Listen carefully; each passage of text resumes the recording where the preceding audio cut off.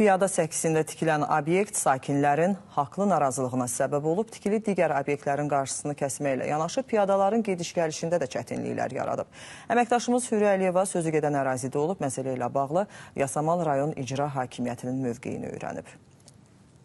Sahibkarın obyekt tikmək arzusu digər mağaza sahibləri arasında narazılıq yaratdı. Buna səbəb isə obyektin həm səkinin üstündə tikilməsi, həm də ki, digər obyektlərin qapısının qarşısını bağlamasıdır. Söhbət Yasamal rayonu Zivər bəy Əhmədbəyov küçəsi 6 ünvanından gedir. Öyrəndi ki, söz gedən obyekt əslində illərdir ki, fəaliyyət göstərir.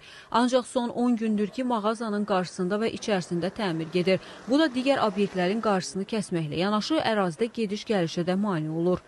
Obyekt bizim sağ tərəf çıxışdan e, olan plaşatkanı kəsərək özünə yol əlavə edib və üstünə əlavə olaraq bir dənə də e, çıxış verib, yəni bağlayıb Bağlama nəticəsində bizim arxa tərəfdəki çıxışımızın e, yarı şüşəsi bağlanıb, çıxış tərəf bağlanıb, vitrin bağlanıb. Əlavə olaraq plaşatka da bağlanıb. Bizim vitrinin qabağı tamamilə bağlanıb.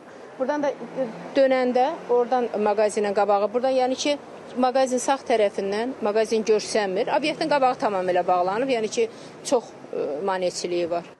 Çəkiliş zamanı obyektin sahibi də gəldi. Andaman etdi ki, onun hərəkətlərində heç bir qanun pozuntusu yoxdur. Məqsədi obyektinin qarşısını sahmana salmaqdır. Təmir işləri isə ətrafdakı obyektlərə heç bir maneə törətmir. Burada da heç bir dəyişiklik olmur, konstruksiya dəyişiklik olmur. Sadəcə bərpa işləri gedib, küçənin görüntüsünü düzəltmək üçün, daha yaxşı görüntü üçün buranın bərpa işləri aparmışız. E, əvvəlki heç bir e, qabaritdən qırağa çıxmayıbdır. Məsələ ilə bağlı Yasamal rayon icra hakimiyyətindən bildirdilər ki, qonşu obyektlərin sahiblərinin şikayəti əsasında hazırda mağazadakı təmir işləri dayandırılıb.